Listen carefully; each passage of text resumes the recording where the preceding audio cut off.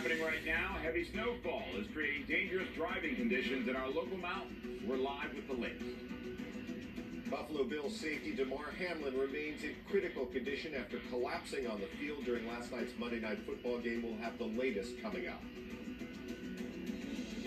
The rain impacting your morning commute. I'm Kirk Hawkins live in the traffic center filling in for Ginger Chan this morning.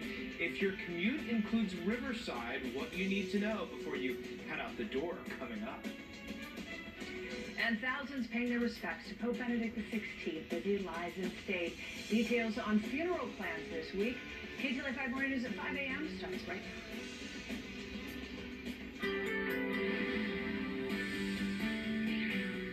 Good morning, everybody. Uh, happy Tuesday. Now, we're talking about some rain and some snow out there. A lot of rain falling overnight. So, if you are traveling for an extended period of time this morning, you will run into some wet roads, maybe even some rain. We still have some showers out there, especially up towards the mountains and the foothills.